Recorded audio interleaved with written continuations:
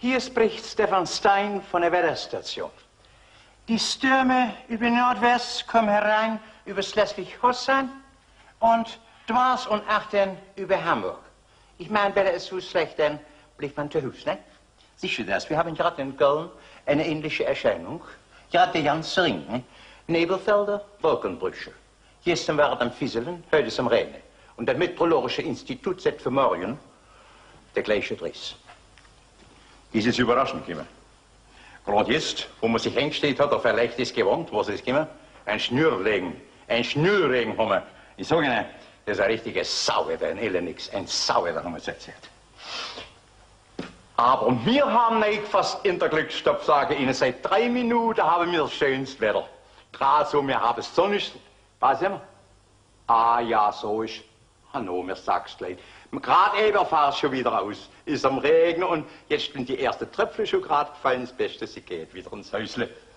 Ich weiß nicht, was die Berliner mal wollen, von wem Berlin ist eine Reise wert. Ja, ich erzähl mal, ich hab mir gestern einen leichten Mantel gekauft, ja. Geh ich raus, ich hab und sage Ihnen, ihr könnt mal peitschen, ja. Jetzt sitze ich damit, also, ich will mal sagen, wenn Sie wirklich nach Berlin kommen, ja, suchen Sie sich mal eine andere Zeit aus. Also Suicide, ja, können sich nasse und kalte Beine auch woanders holen. Ei, horchen Sie mal, das ist doch furchtbar. Hier bei uns in Frankfurt in der Kaiserstadt. Ich meine, wir haben doch die Brüder hier von der Wetterstation. Da haben die ihr Büros hier bei uns in der Kaiserstadt und die machen uns so Wetter. Ich meine, das ist doch furchtbar. Also wirklich, horchen Sie mal, Herrschaftsbosse sind das. Das ist furchtbar. Erbarmung, was haben wir in Königsberg? Ein Wetterchen?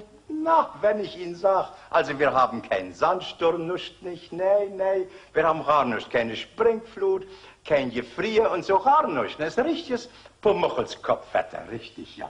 Also ich weiß nicht, wir reden oft über das Wetter, aber zur Zeit, man weiß gar nicht, worüber man überhaupt noch reden soll. Lerge, verfluchte Piranha, verstehst du?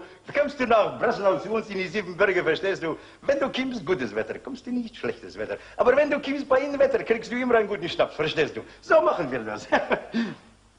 ich möchte mal hier was verkünden.